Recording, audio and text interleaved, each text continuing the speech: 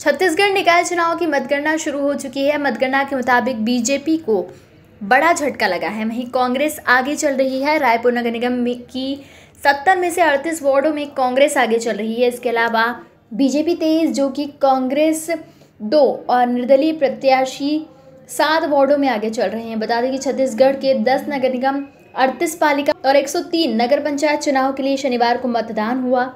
राज्य गठन के बाद पहली बार बैलेट पेपर से मतदान हुआ था, जिसके चलते एक कयास लगाए जा रहे हैं कि परिणाम देर शाम तक जारी रह सकते हैं और मंगलवार को दस हज़ार एक सौ इकसठ अभ्यर्थी के भाग्य का फैसला हो जाएगा। Subscribe our channel and press the bell icon for more updates